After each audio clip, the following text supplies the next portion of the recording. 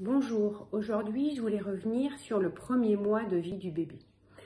Euh, c'est une période vraiment très difficile pour les parents. Euh, ils s'en veulent beaucoup parce qu'ils n'arrivent pas à deviner ce que le bébé essaye de leur dire et euh, les besoins du bébé. Alors vraiment c'est une vidéo pour déculpabiliser les parents. Le bébé lui-même ne sait pas ce qu'il veut. Avant, il était un poisson, il était dans le ventre de sa mère, il respirait pas, il n'avait pas besoin de manger, il n'avait jamais faim, il n'avait jamais plus faim, il ne faisait pas caca. Et d'un coup, c'est devenu un papillon. Et maintenant, eh bien, euh, il a faim, il a froid, euh, euh, il a des couches, il a des vêtements, il respire de l'air froid dans ses poumons. C'est très compliqué pour le bébé. Et il va apprendre progressivement ce que son corps lui demande.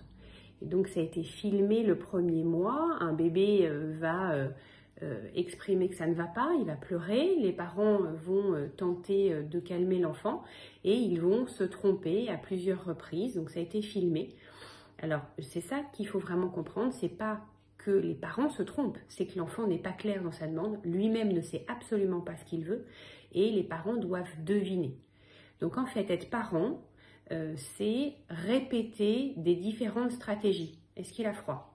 Est-ce qu'il a faim? Est-ce qu'il a chaud? Est-ce qu'il a les fesses propres? Est-ce qu'il a besoin d'être rassuré? Et faire une espèce de checklist comme ça à chaque fois parce que le bébé n'est pas clair dans sa demande. Donc c'est pas vous qui vous trompez, c'est pas vous qui êtes nul ou qui savez pas ou j'y arrive pas avec cet enfant-là, c'est uniquement l'enfant n'est pas clair. Donc vraiment déculpabiliser, c'est pas de votre faute. Et au bout d'un mois, l'enfant va devenir clair dans sa demande. Courage.